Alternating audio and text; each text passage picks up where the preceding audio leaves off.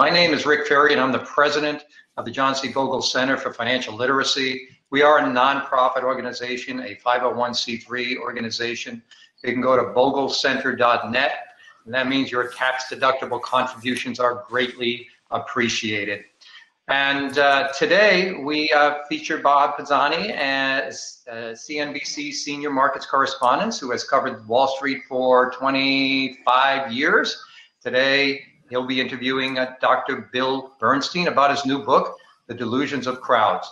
And if uh, you missed this or, uh, or can't watch the whole thing, we are recording it and it will be available on bogleheads.org as well as the Bogle Center site, boglecenter.net, uh, within a few days. So, with no further ado, I'm going to turn it over to Bob. I can't uh, tell you how honored I am to be here. Um, I am uh, correspondent, as you heard, I've been with CNBC for 31 years. I've been the markets uh, correspondent since 1997. Uh, I met uh, Jack Bogle in 1997 at that time and uh, in a phone conversation with him and was profoundly influenced by him. Uh, so much so I opened a Vanguard account for my wife in that year in 1997. And I'm, I'm a, a, a Boglehead uh, in, in certainly maybe not officially a member. I'd like to be, but I have been for 24 for 25 years. So it's a great honor, and I'm a big fan of Rick Ferri uh, and uh, William Bernstein. Um, we're going to try to keep to the time here. It's a Saturday afternoon. It's beautiful. Spend a lot of your time. We're going to try to keep it to one hour. Um, Bill Bernstein, uh, when I I've known Jim for many years. So when Jim took this over and said, I'm going to do something with the Bogleheads, I said, I want in on this. And he said, Well, Bill Bernstein's doing anything. I said, I- have known Bill Bernstein's work for years.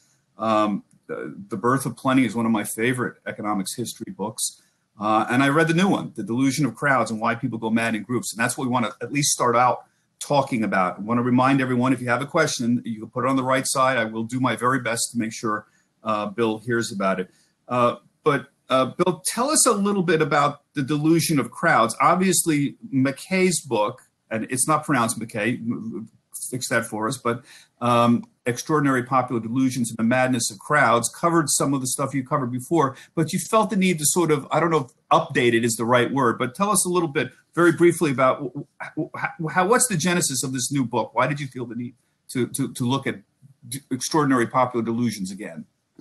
Well, the um, the genesis of the book was almost 30 years ago when I read Charles Mackay's book. It's Mackay if you're Scotsman. If you're American, Mackay. it's okay to say Mackay. Yeah, if you're an American, it's, it's okay to say Mackay. And I read this book, Extraordinary Popular Delusions and the Madness of Crowds. And the original version of this book was written in 1841. And it's a remarkable book because it describes uh, many different mass delusions, religious ones, uh, and also financial ones. And it's most famous for its descriptions of the three great bubbles of the 17th and 18th centuries.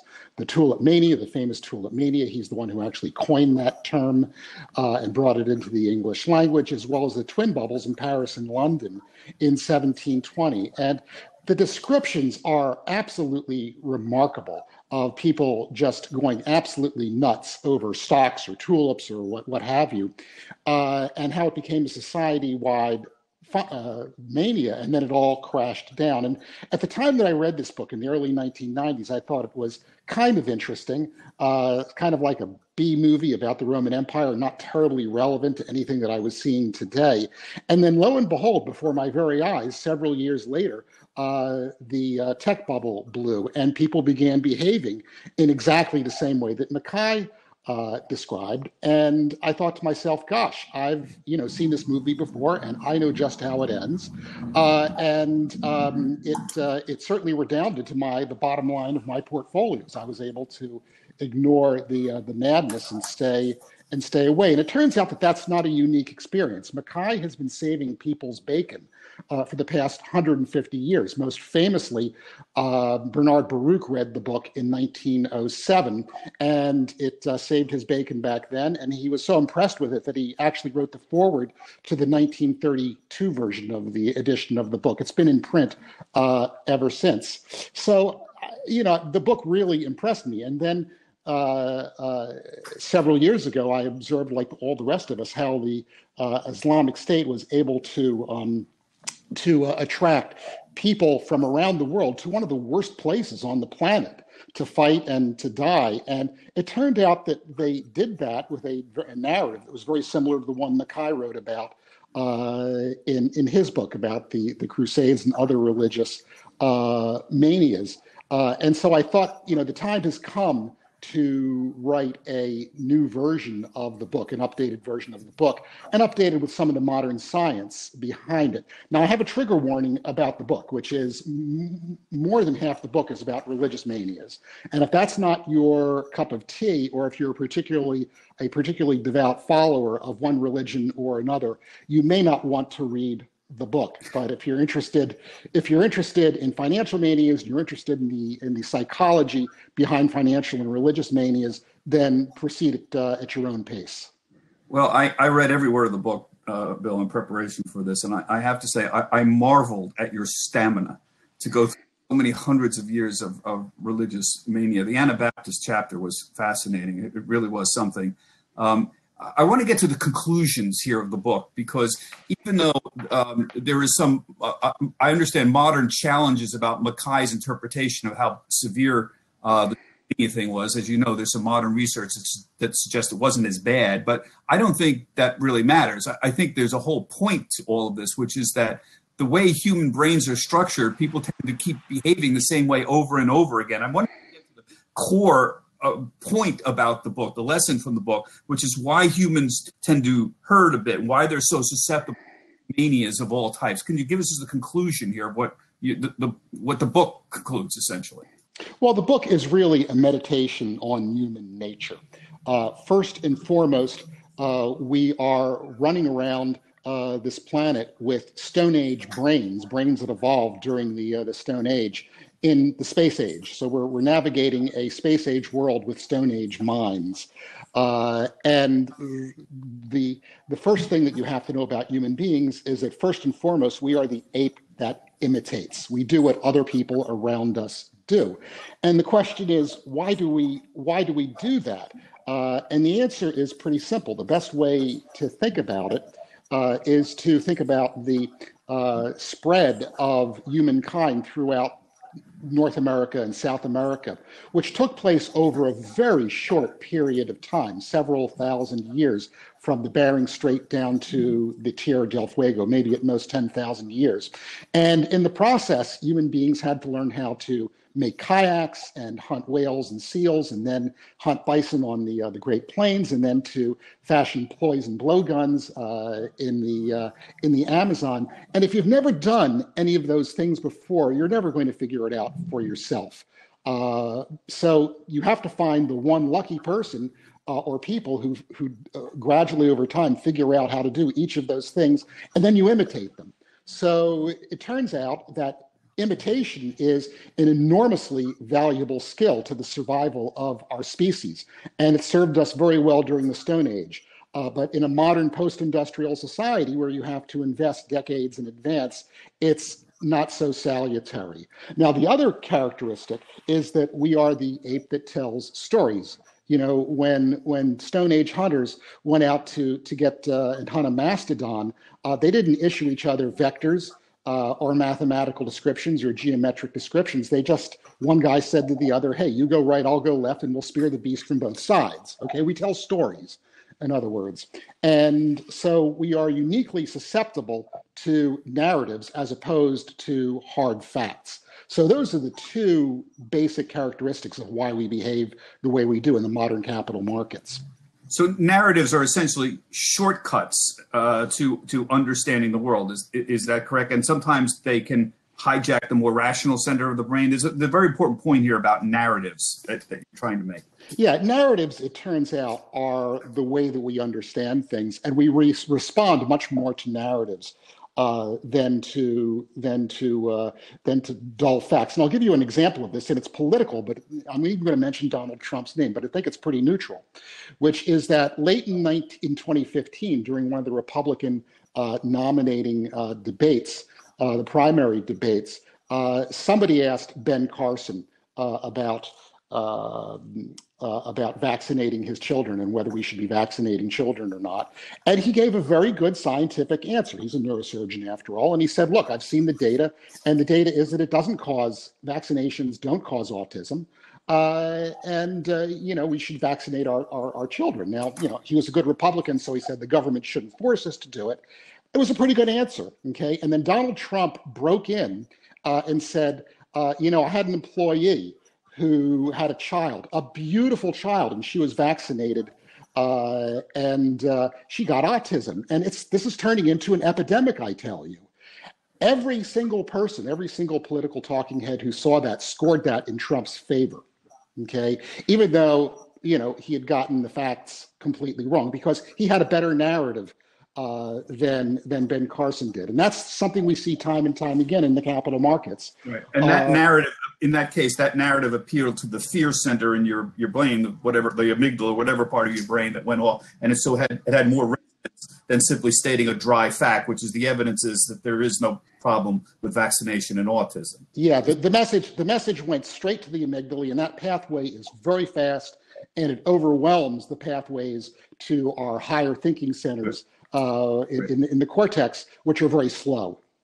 Great. Let me move on to bubbles, and now let's try to make some conclusions about what bubbles. One, one of the interesting thing about bubbles is they all exhibit certain characteristics in common. Uh, you very interesting discussion about uh, Minsky, who was a, a, fairly obscure economist, as far as I, I can uh, you know tell, but is sort of now widely so cited for his study of bubbles and bubble conditions. And he noted there were two essential factors. I'm not sure there's just two, but you, you point out in, in, in the book he, that in order to have a bubble, you need to have very cheap money, uh, credit, uh, and you need a revolutionary technology. Can you very briefly discuss that? And, and are there other factors that you know modern scholarship might have identified? They all have something in common. That's my point, and we should all be able to recognize and say tulip mania bubble and you know the dot com bubble actually had something in common and these are the common characteristics yeah the two driving characteristics of any financial bubble are cheap credit uh, or low interest rates which is another way of saying that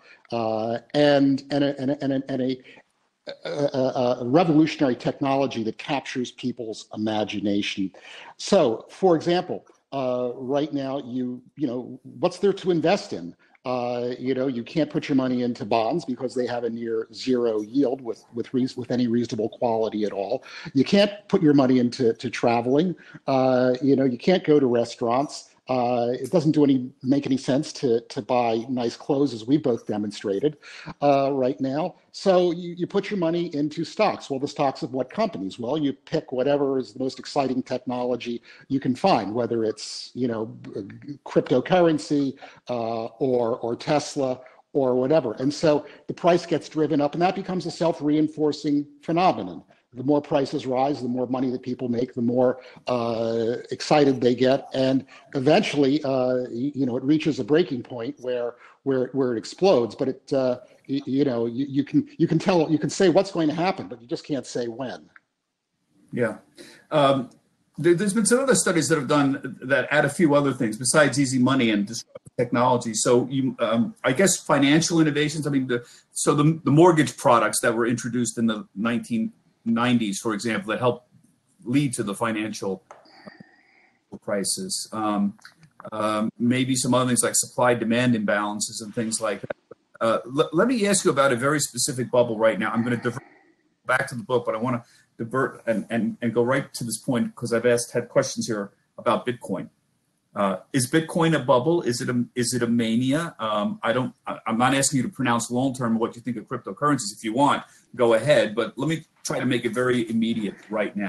Um, give, give, us your, your thoughts on what what what what's going to happen to Bitcoin. Well, I'll try not to be um, uh, inflammatory. I will not use um, uh, terms like coin apocalypse or cointastrophe uh, or, or, or, or, or, coin tribulation. I will simply say that there's a lot of there's a lot of a lot of you, lot, you talk in parentheses, which is great. I don't want to use apocalyptic terms, but let me name them right now. Yeah. Uh, Go ahead, I'm, I'm just giving you. No, no, no, no. I, I deserve that. Um, uh, you know, what, what I will say is that there's a lot of speculation by people who are less than well informed, uh, and the history of of how this falls out is not is not very encouraging. Uh, and that's the whole point of reading the Mackay book is you see you see not only the manias but you also see uh, how they ended. Now, not all manias end in a bust. Uh, you know, maybe only 80 or 90 percent do. There were. It's been pointed out to me that there were some manias that really didn't result in a in a horrible uh, bust. There are some relatively obscure examples. For example, there were three railway manias in England during the 19th, 19th century, and the second one really didn't and you know ended much of a bust but the other you know nine or ten ones that you can easily name did. So yeah it's uh, there's no question in my mind that bitcoin is a mania. Uh, and the question is why do i say that? Uh, because you know they fit Mackay's descriptions. Uh, and the Mackay description of a mania as well as you know what we all observed during the housing crisis during the housing bubble uh, excuse me, or during the tech bubble of the late 90s were four things. And the first thing that you see is, is that speculation becomes topic A. Uh, when everybody starts talking about a given investment at a party or when they meet casually, that is a bubble. All right. When you see people who are quitting otherwise good jobs to trade assets, thinking they're going to become fabulously rich and they'll never have to work again. That is a bubble. And then there are two other things which are a little uh, not not as commonly observed, but are still characteristic, which are when skepticism is met with vehemence. I can remember several times during the late 1990s when I expressed skepticism uh, about the tech bubble, being basically told that I was an idiot, uh, if not, you know, seeing my my parentage insulted. Uh, that sort of vehemence you're also seeing with Bitcoin uh, as as as well. People will get very angry at you if you express skepticism. You're you're you're an old fogey. You just don't get it. You don't get it, or um, or you just don't get it, or five words that you hear very very frequently at the top of a, a mania. And then finally, it's extreme predictions. You know, Bitcoin's not going to go to 100,000, it'll go to 500,000 or a million or 10 million, because don't you know they're not making any more of them. Uh, when you start hearing those sorts of extreme predictions, that's the fourth factor. And we're seeing all four of those things right now with, with Bitcoin. Yeah. Um, I, I, agree with your point. I, the only I would point out is, as you pointed out in the book, uh, dot com was a bubble, it blew up, but the internet lasted. Um, why can't Bitcoin blow up, but blockchain really does last? Doesn't that seem like a lasting technology to you? Oh, absolutely. Uh, and this is one of the, the central points of the financial section of the book, which is that bubble investors turn out to be uh, capitalism's philanthropists.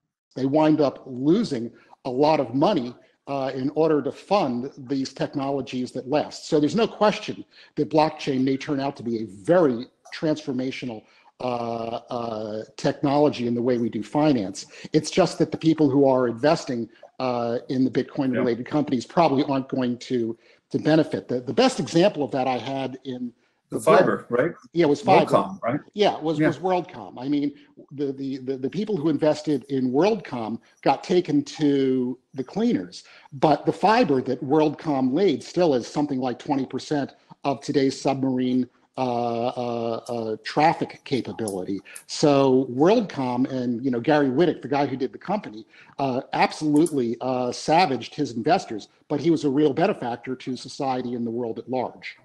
Yeah, I agree with your your point. I, I have no idea whether Bitcoin is worth five thousand or fifty thousand. Just I don't have any idea whether you know it's worth somebody spending sixty nine dollars for a non fungible token or NFT that just happened.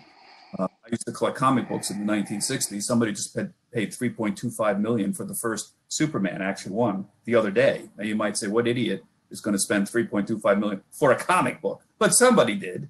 So I'm very agnostic on prices. What I am excited about is blockchain as a long-term uh, disruptive technology. I think it's going to last. I would pay very close attention to the Coinbase direct listing this week that's going to be um, depending on how that thing prices that could force another whole new wave of investment in crypto because that thing is so big um, we literally don't know what it's worth 50 billion 100 billion it's literally don't know but i'll give you an idea if it goes at 50 billion dollars um, nasdaq is currently valued at 25 billion uh, the new york stock exchange with ice with the entire organization around new york stock exchange is 65 billion So essentially, there's an exchange here. It's really an exchange, Coinbase, that is suddenly valued as much as the New York Stock Exchange and all of the exchanges that are built around the NYSE.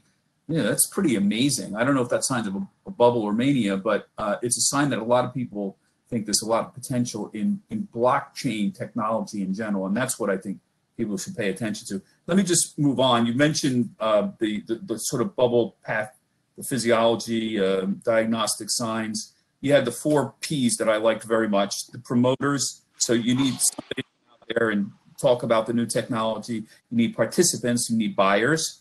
Um, you need a press. Um, you know, one of the things Robert Shiller pointed out in Irrational Exuberance, another book that I got in the first three years going down to the NYSE. Uh, I met Shiller in, uh, when it came out in 2000, I think, Irrational Exuberance. I met him just after that. He pointed out that one of the common characteristics of mania was bubbles first started appearing when the press started appearing in the 1600s. Um, and he was very big, just as you were, pointing out the role of the press in helping uh, promote uh, uh, these these manias, Uh, and politicians, of course, uh, getting involved various ways in either promoting them or changing uh, changing the law. So I, don't have the question here, Bill. I just want everyone to realize that what are the characteristics of, of bubble? Well, they need four things: the promoters, the participants, the press, um, and uh, the politicians. Is there anything you want to add to that at all? I'm doing a little learning thing here for the for everyone who hasn't read the well, yeah. The, what I what I do is I have this, you know, medical. I'm a doctor, so I have this medical model of bubbles. So, you know, we already talked about the underlying pathophysiology, which is the Minsky criteria.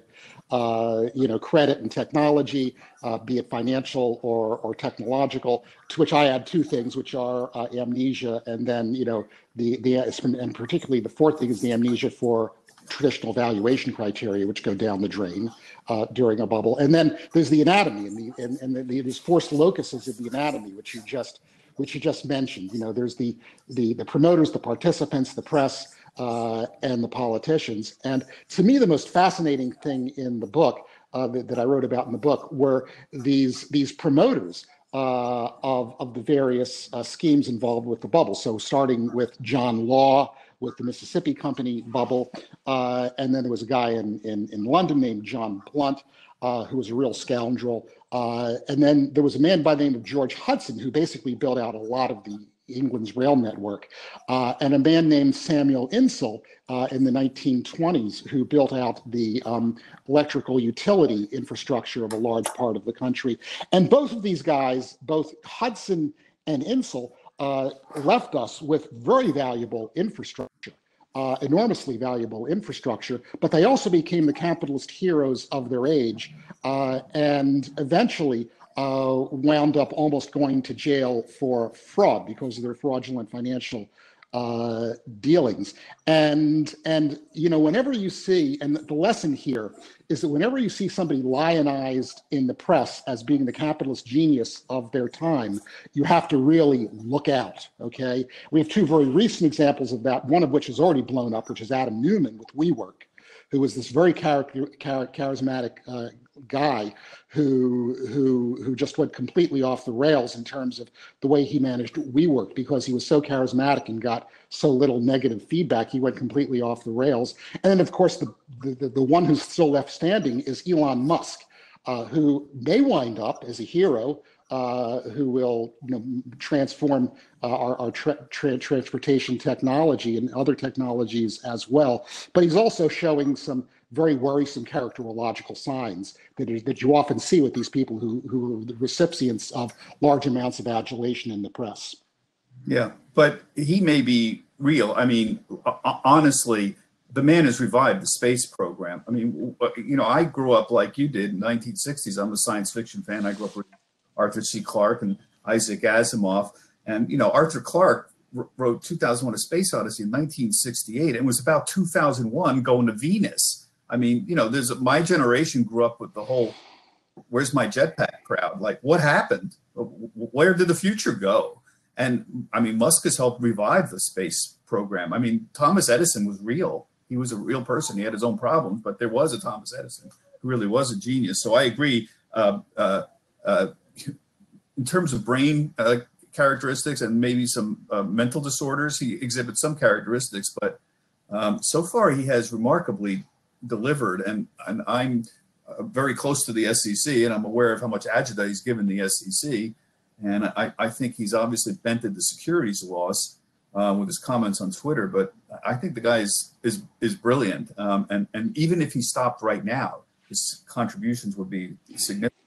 I don't know about the valuations of his of Tesla at all. I, I tend to be very agnostic on those things, uh, but um, I mean, you, you, you, do admit genius does exist, right? Oh, uh, oh, absolutely, and, and I agree with every single thing you said, and I, and I make that point in the book. Uh, you know, uh, George Hudson uh, and and uh, you know George Hudson and Samuel Insull transformed the, the, the, England and the United States, respectively, in the way that we live. They were absolute geniuses, uh, but they did not come to good ends because of the hubris that evolved in the course of doing all the wonderful things they did. So the question really is: is does Elon Musk wind up like Samuel Insull? Uh, which was not a good ending. Uh, Insull actually wound up dying penniless in Paris. Uh, or does he wind up like Thomas Edison, uh, who will be remembered? I don't. I, I, I don't know the answer to that. I would not be surprised either way. Or Tesla himself. You know, look what happened to Tesla. He's a brilliant man and really essentially ended up with almost almost nothing. Um, I want to move on because we've had some specific questions from uh, the listeners, and I want to try to uh, address them. We've got a half an hour lesson, folks. If you got some questions, let me know. But I try to get to uh, a couple of them. Um, some very specific questions in, in general about about investing. I don't know how much you want to take them, but I, I want to do something I, I'm very interested in, which is what are you, what should we be advising people to be doing now? Um, I, I'm obviously a Jack Bogle disciple, and I spend a lot of time ETFs and uh, index investing in general. Um, do you feel, in my view, ETFs and index investing have generally triumphed? Uh, it is widely known now that almost all active management is not successful over long periods of time. Not that there isn't, I know Jack would always correct me. It's not that there isn't any. We have very good active investors at Vanguard and funds, but they're rare and it's hard to find them and they cost too much. So with that said, how do you feel about the progress of a lack of a better word, the Jack Bogle ideology, the keeping costs low, uh, generally index funds. Do you feel that that is winning the day compared to, say, 20 years ago? Very, very slowly. And what I worry about is that the learning curve may be shallower than, than, the, than the birth rate. All right. Uh, I, I, see it happening uh, and I certainly, you certainly you walk into a Bogleheads conference and you think that everybody has got religion uh, and is doing things right. And within the confines of a Bogleheads meeting, yes, that's very true. But when I walk out into the wider world and I talk to people about investing, my sampling shows a very low incidence of Bogleheads. Uh, you know, for every person that I meet that's read Bogle or Rick Ferri or Larry Swedroe, uh, you know, uh, I, I meet I meet I meet 50, 100 who are still listening to their stockbroker. Right. Well, isn't this because literacy in general is not very good? Financial isn't very good. I mean, the education system is failing us. I mean, what really disturbs me, I mean, I, you know, I belong to the skeptical inquirer, uh, you know, group, and you're not taught critical anymore. You're not critical thinking in science, critical thinking inductive reasoning. You're not taught. Why would you even be taught financial literacy? Like, what's the Federal Reserve? What's a stock and what's a bond? It's it's people come out of high school. It's shocking how little they know. I went in high school. I graduated in '64. I had not a single course on finance. I learned how to type. I learned a little mathematics, uh, trigonometry, and geometry, a little science, a little history. But you know, I, I literally didn't know how to balance a checkbook when I was 18. Literally, yeah. I had to myself. Yeah. So shocking that this happens? Yeah, no, it's not shocking at all. Uh, there's that, um, you know, the fact that that, that America very good at critical thinking. Of course, you know, Europeans and, and Asians uh, are even more enamored of active investing than we are here in, in this country. There's almost, there's very little of, of an indexing community outside of the United States, maybe, and, and Canada. Uh, so so there's there's that, but there's a more basic factor involved here, which is how compelling are the narratives. What my book is is really about, aside from disquisition on human nature, Right. is it's also a a um, uh, a, uh, a story of, of, of compelling narratives. Well, Right. So why? let- I'm sorry to interrupt, but this is a very important point. Why is active management a more compelling narrative than indexing?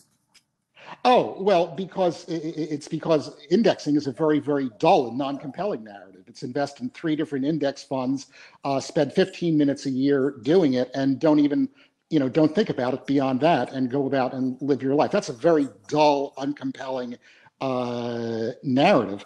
Uh, the, the the real narrative is to turn on the financial media and watch Jim Cramer, you know, jumping up, jump up and down on the desk in a gorilla suit and go booyah uh, that is what compels people, or to hear a corporate executive come and talk about what a great company he has, or to hear a listen to a a, a strategist, a market strategist from a bar, large bank talk about where he thinks the market is going uh, in the next six months. That's much more compelling than buy three funds uh, and rebalance it once a year and and forget about it. It's it's just that you know the Boglehead narrative is so is so dull. Now, where the Boglehead narrative wins, of course, is on the data.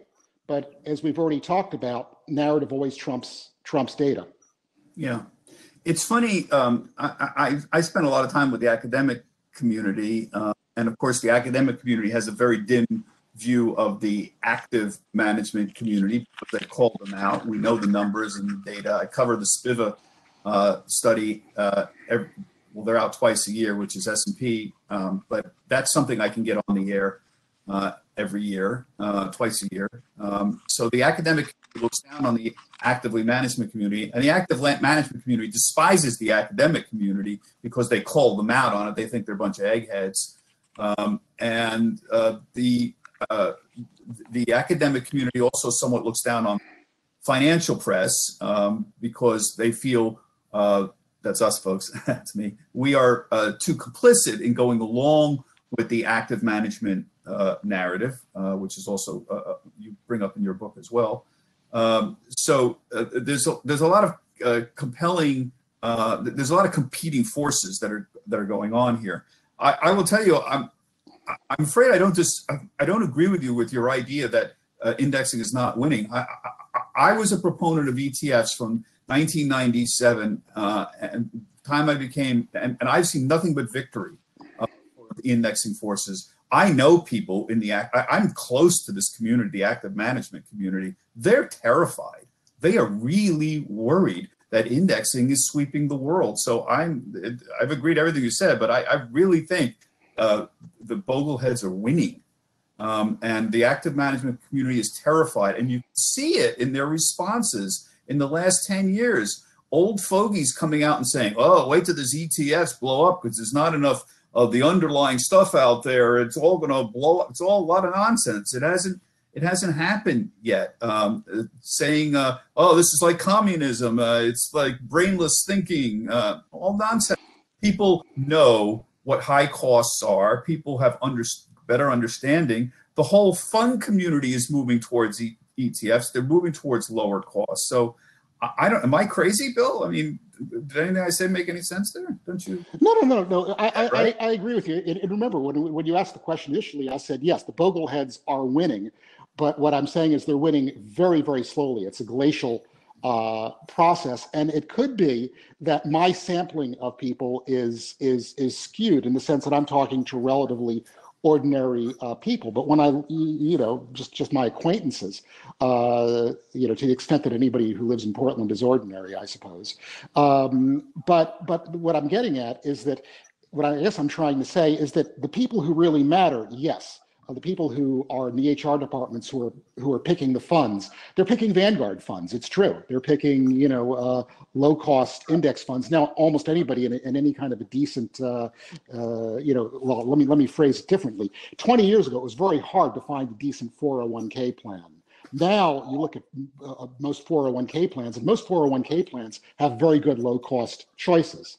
Uh, so that so the battle is being won, I think, at that very high level. But when you ask the average person on the street, uh, about indexing uh, and you ask them about finance, to them, finance is is is the guy on the TV uh, yeah. who's picking stocks and and uh, and uh, and it's their broker. It's not it's not the wisdom of Jack Bogle. Yeah.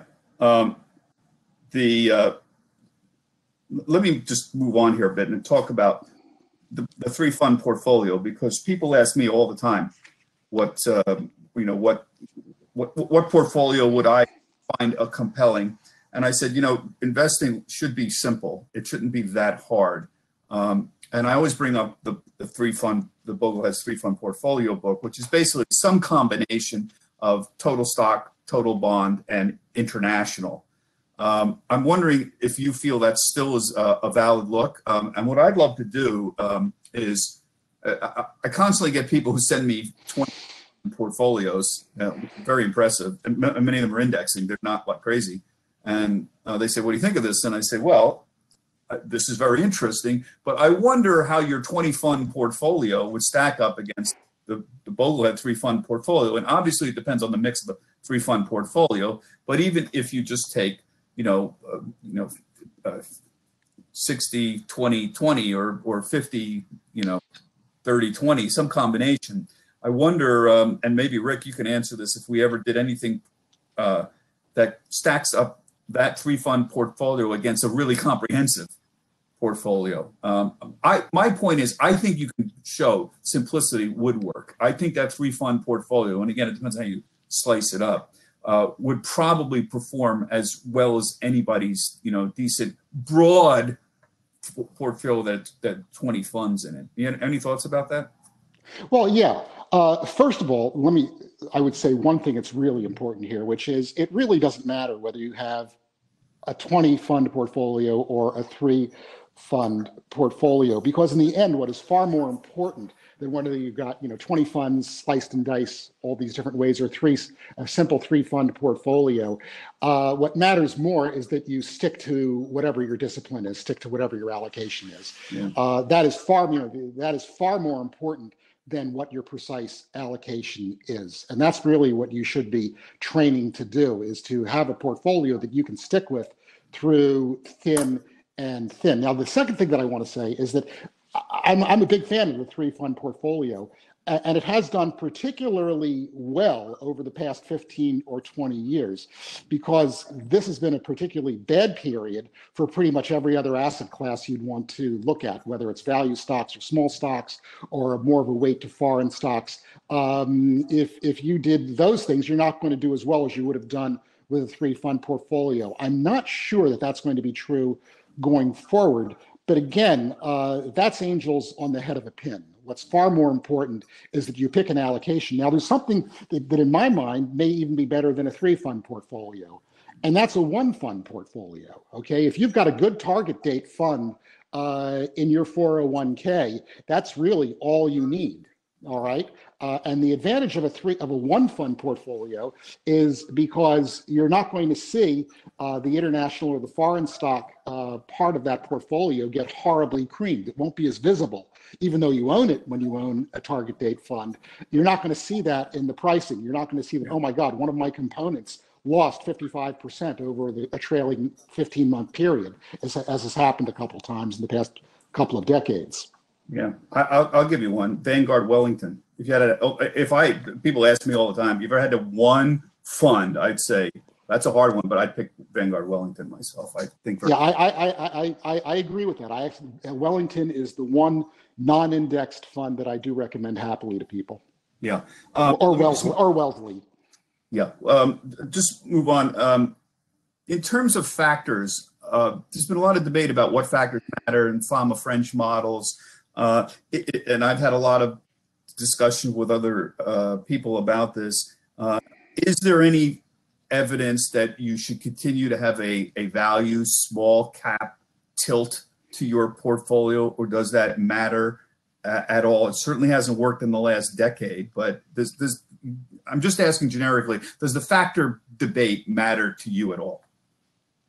Well, it matters to me because that's how we invest. Uh, we are we are factor loaded, uh, and we're quite happy with our results over the past 20 years. Uh, we were extremely happy with our results from you know 2000 to, to 2010. Not so happy with our results in the past 10 years. Uh, over the past 20 years, we're quite happy with with, with our results. Uh, but that's the hard part. In other words, we do believe that there is a premium to investing, certainly in value stocks, maybe even to small stocks, although that's less less certain. But that that premium, if there is a premium, doesn't come for free. Your, your, that premium comes at a cost, which is a period like the past 10 years. Now, you know, I'm not going to get into the weeds about whether value stocks have gotten uh, much cheaper than, than growth stocks have. I think that they have. Uh, and I continue to believe that. Uh, but, you know, there's, there are no certainties in investing. I could easily be wrong. But if I had to bet one way or the other, I would bet that over the next 10 or 20 years, value stocks will outperform growth stocks. But I have no certainty about yeah. that. Well, if you believe in reversion to the mean, it, that would certainly make some sense. And we've seen that recently uh, with small cap value being the out, biggest outperformer this year. I want to hit you on, uh, we've got another 20 minutes left. I want to hit you on uh, six or seven questions the viewers, the listeners are writing in. Uh, keep the answers relatively short so I can get a number of questions in. Uh, here's one that I think is a good one. Why is it so many institutional investors, endowments and foundations in particular, continue to be such firm believers in alternatives and active management, even though they know or should know the evidence on all of this? Two reasons to be very fast. Number one is they are facing uh, horrible uh, constraints uh, in terms of traditional assets. So if norm, so if everyday plain vanilla stocks and bonds aren't going to enable you to uh, fund your your your your your participants' uh, liabilities, uh, or you're spending, uh, then gosh, we should try something else. And that something else is alternatives. And then the second answer, the second reason is consultants. There's an entire consultant industry out there whose whose rice bowl is basically shouldering responsibility when things go bad. Uh, so you, you, know the, the consultant industry is the consultant is the person you blame when things head south. And you know a consultant isn't going to have a very good uh, make a very good living if he recommends a three fund indexed portfolio. Yeah, that's a very good answer. I, I completely agree with that. Uh, let me move on. Uh, the current uh, Bill Miller of, day, uh, of, of, the day is Cathie Wood over at ARK Investing. Um, she has attracted in nine days $500 million to her space ETF, uh, even though she has almost nothing to buy there and it's got gear, it's considered a space investment. Um, but uh, let me just ask you any particular thoughts on on on Cathie Wood as the new current superstar? Well, if you know anything about uh, mutual fund uh, history, she's an easily recognizable type. She's the superstar who makes three or four hundred percent uh, over a couple of year uh, period, uh, and then flames out. My favorite was Ryan Jacob, which is an interesting story. Uh, Ryan Jacob ran the Internet Fund uh, back uh, in the late 90s, and then he ran the switched to the Ryan, uh, the, excuse me, the Jacob uh, in, the Jacob Internet Fund, I think it was. After after that, and that fund posted returns of I think 300% one year, 200% the next year, uh, and then proceeded to fall in price by 95% between 2000 and 2002. Now, what's interesting is that fund is still around, and if you string together all of his results, he actually beats the S&P 500. But I don't think there are any sentient uh, beings in this quadrant of the galaxy that actually held on with him for 22 years or 23 years. All right. Uh, and so he's a perfect example. So, you know, do I think that uh, Cathie, Cathie uh, Wood's portfolios are going to crash and burn? Uh, I think it's highly likely because, you know, you could name not just Ryan Jacobs, but Garrett Van Wagoner, uh, Helen Young Hayes, Bill Miller, all people who did very well for a very short, relatively short period of time, except Bill Miller. He did well for 15 years and then imploded. That's the history. Yeah.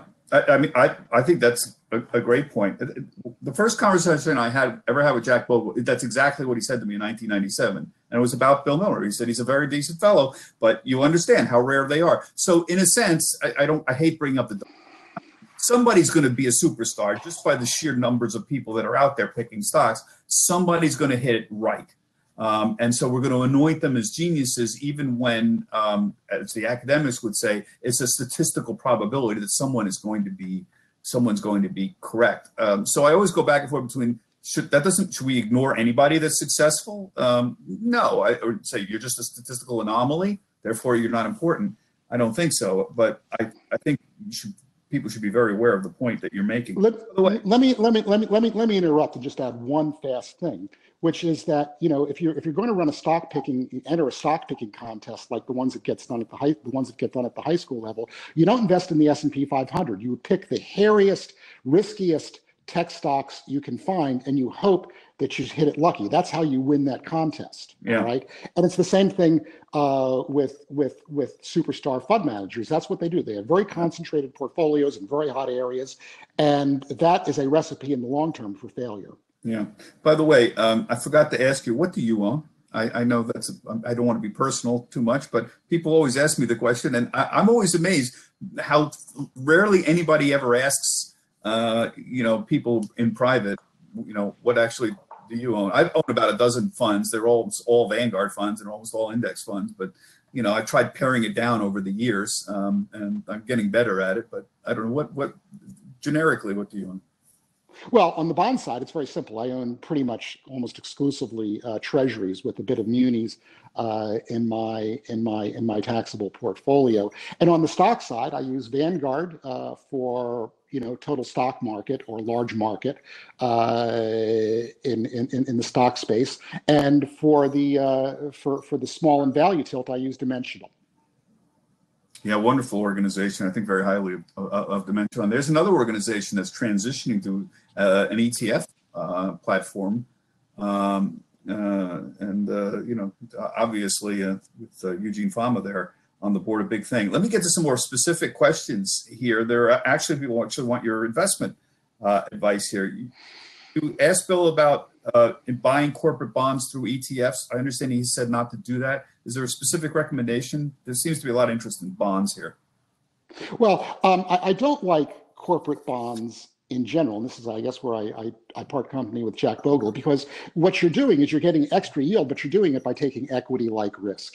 And I'm a big believer in having a risky part of the portfolio, which is long term, uh, and then a, a, a, riskless part of the portfolio. Safe. Uh, you know, if you if you invested in corporate bonds, for example, in 2008, uh, you had the experience of watching what you thought was a safe asset lose five or 10 or 15% of its capital value. Uh, and that's the money, you know, that's the money you're going to live on when you lose your job. That's the money you're going to use to buy stocks at the fire sale. And it is very discouraging uh, to, to see that head south during a real financial crisis. Um, I'm not overly fond, on top of that, of ETFs uh, because uh, of the spreads that, that open up. Now you can have this, there's this philosophical argument is what's the real price? Uh, is the real price the, the, the open-end uh, fund price at the end of the day or is the real price the ETF price? Because quite a gap can open up between those two prices. Uh, but there's no question that the open-end price functions better. So if you're going to own corporate bonds in a fund, uh, you're probably better off in a uh, in an open-end fund. An open-end fund. Uh, Correct. Yeah, not as opposed to an ETF. Yeah, and I'm not a big, as I said, I'm not a big believer in owning corporate bonds anyway. So you, in your personal fund, in your taxable account, you own all treasuries? Treasuries and a bit of munis, yeah. Okay. Um, and you don't, it, it, it's not that you don't like corporate bonds. You like, you don't like corporate bonds in general. Some people don't like bond funds themselves because they, they keep rolling over and having new bonds. And they, there's a lot of people come on are owning individual bonds, whether corporate bonds or treasuries or, or, or munis. You, are not making that distinction between the, the funds versus owning them individually. You, you don't like corporate bonds in general. In, in general, but I, and again, you, you've asked another question, which is, you know, what about owning individual corporates versus uh, owning a corporate bond fund? And owning individual corporates is not a game that individual investors should should play. Those are relatively opaque market, very high spreads. Uh, leave that to the to the person uh, at the fund company who knows what they're doing. Yeah. Um, some questions on international investing. Um, you know, I remember talking to Jack in 2006. I actually called him and said, I'll show you mine if you show me yours. Tell me what you own. And he, he declined to do that. I think his, I think his son was ran a hedge fund at the time, and he had some money in the hedge fund with his son. But he made it very clear. He, largely, it was total stock and total bond. And I was surprised he didn't seem very big on international investing. I, I, I understand he kind of changed that as time went on. How, do you feel about international investing right now as a percentage of the portfolio? Do you, it, where does it fit in? And I'm, if you can give me a percentage, uh, maybe that's tying you down too much, but should it be 10%, 20% or? Well, here's, here's, here's the way I look at it, which is that very, very roughly, and I haven't looked at it recently, I'll admit, uh, you know, the world stock market is roughly half foreign and half US. All right. So efficient markets would tell you that's about what you should be. You should have an equal amount of the two. Now, having said that, there are good reasons to tilt toward the US. Uh, number one is, especially in a sheltered account, uh, you get the you, you lose the um, uh, the foreign tax advantage that you have by owning it in a taxable uh, account. So that's that's number one. Number two, you're going to be spending U.S. dollars in your retirement. Uh, unless you're moving to Europe and you'll be spending euros. So you want to take the currency risk, a little bit of that currency risk out. So you should certainly tilt more heavily towards US stocks. So, you know, if your portfolio is 50 50, uh, there's nothing wrong with being 30 20 or 35 15. In other words, you know, my, my, my set point is somewhere between 30 and 40% of your stock portfolio being foreign. Do you have any uh, problem with, for example, China, where you know viewers, some viewers call in and say, well, you you know, you for every Alibaba that's supposedly privately owned, a very large part of the Chinese stock market uh, is largely, particularly the older school industrial banks, largely controlled by the government. Uh, nominally, they may seem private, but in fact, the government uh, controls them. Um, is th- does that figure into your calculation? Uh, does it matter? Does, does political systems matter uh, even when China is has capitalistic characteristics? Does that where does that fit in the political situation in terms of investing? Well, Chinese equity has a much, much bigger problem than what you just talked about, which is dilution. All right. Uh, and all you have to do is step back and look at things from 50, the Chinese market from 50,000 feet. And what you see is that over the past, I don't know, 28 or 28 years or so that uh, that, that the data has been been kept. Uh, the return on Chinese stocks in U.S. dollars has been paltry, a couple of percent at most, and that's you know that's only been very recently that it's actually nudged into positive nominal territory with with the results of the past couple of years. And the reason for that is equity dilution. It doesn't do you any good at all if an economy is growing at eight or 10 percent a year if the stock pool is being diluted at 20 percent per year, which is what's happening uh, in in China. Uh, to give you the opposite example, over a very long term, the Swedish market uh, has had about the highest returns over the past 120 years of any developed market. Why is that? Because the Swedes don't dilute their stocks, their their stock pool.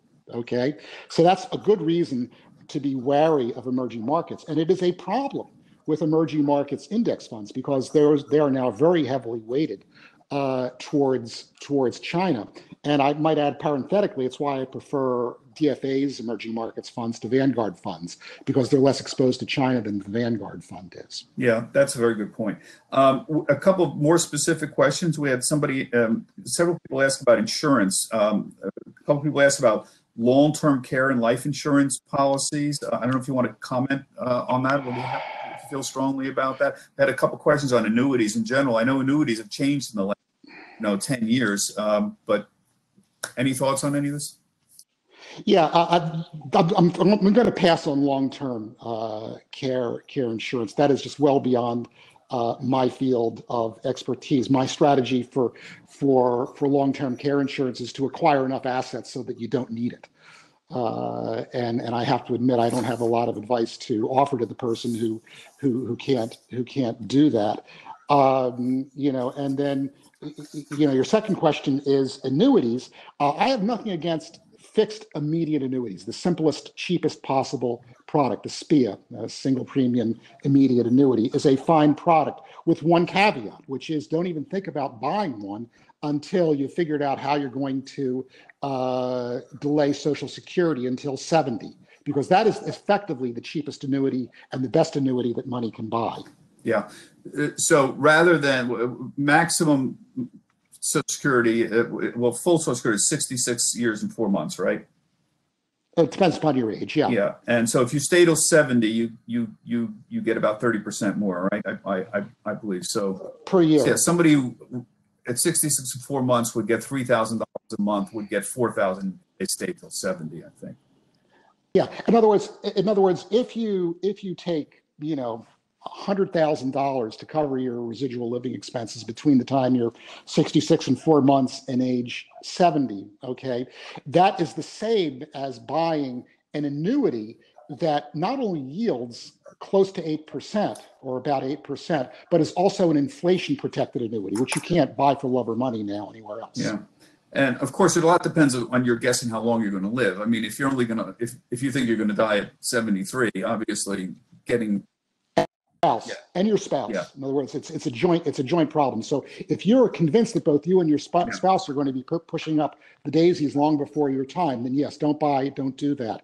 But for ninety percent of people, it's a good choice. We only have two or three minutes, and I pledged everyone we get out on time. But let me just ask you about the debate about the 60-40 portfolio, which never made a lot of sense to me, particularly, um, and seems to be under assault for the obvious, you know, reason we're all living a lot longer and bonds aren't returning much. But can you give us uh, two minutes on uh, that whole debate, the 60-40 portfolio? Is that even useful to discuss anymore? It's still a thing. Uh, I have nothing wrong. I have no problem with a 60-40 portfolio. I mean, you, know, it, it, it, it's it really depends upon your own personal circumstances, and particularly your burn rate. Okay, uh, if you're 60, if you're retiring at age 60 and you've got a five percent uh, burn rate, uh, a 60-40 portfolio may very well put you in a bad place if you have a bad initial sequence. Uh, on the other hand, if your burn rate is two or three percent, it almost doesn't matter what your asset allocation is as long as you have at least a reasonable amount of money in stocks. Yeah. Okay. But but but but I mean one thing I might add is that you hear this every 5 years the 60/40 portfolio is dead. And I've heard that in one form or another for the past 30 years. It's wrong. Yeah, yeah, agreed. Uh, folks, it is precisely two o'clock. Uh, this has been wonderful, stimulating. Um, it's a great honor to be with the Bogleheads. I hope to be back with you again. Um, and uh, Bill, thank you so much uh, for joining us. Uh, I've been a great admirer of your work for many, many years. Um, Rick Ferri is back with us, and Rick, I'm an admirer of your work too. And I really would like, um, I would, I would get on the air um, a the Boglehead three portfolio, uh, and I'd like to talk to you about it versus a wider portfolio because I think that's a useful way of educating people more about the value of it. Uh, Part of the problem is with, with and I think this goes to Bill's point about neuropsychology is people think if I have 20 funds that this activates my brain, it's the dopamine more than three funds.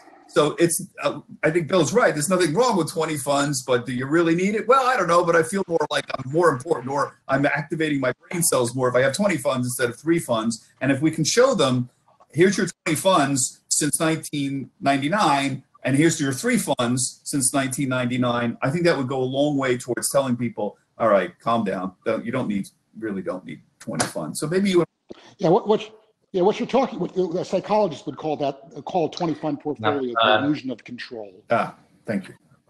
Okay, maybe we can collaborate and do something on that. Well, thank Right, you, but and uh, thank you for- simplicity for is the in uh, today. I greatest genius, correct? Um, Take something that's complicated and make it uh, simple, and that's, that's, a that's a greater genius than having 20 funds in a portfolio. But thank you, Bob and Bill. I mean, that was a fascinating discussion. I mean, everybody agrees that was listening. It could go on for a couple more hours. So greatly appreciate both of you being on today. Uh, A wonderful discussion, and, and we hope everyone who joined today enjoyed this uh, presentation. It was recorded, and it will be available on bogleheads.com and on the boglecenter.net website. Our next Boglehead speaker event will be in May with a guest to uh, be announced soon. So thanks for joining us and see you next time. And thanks, Jim, for hosting this. It went great.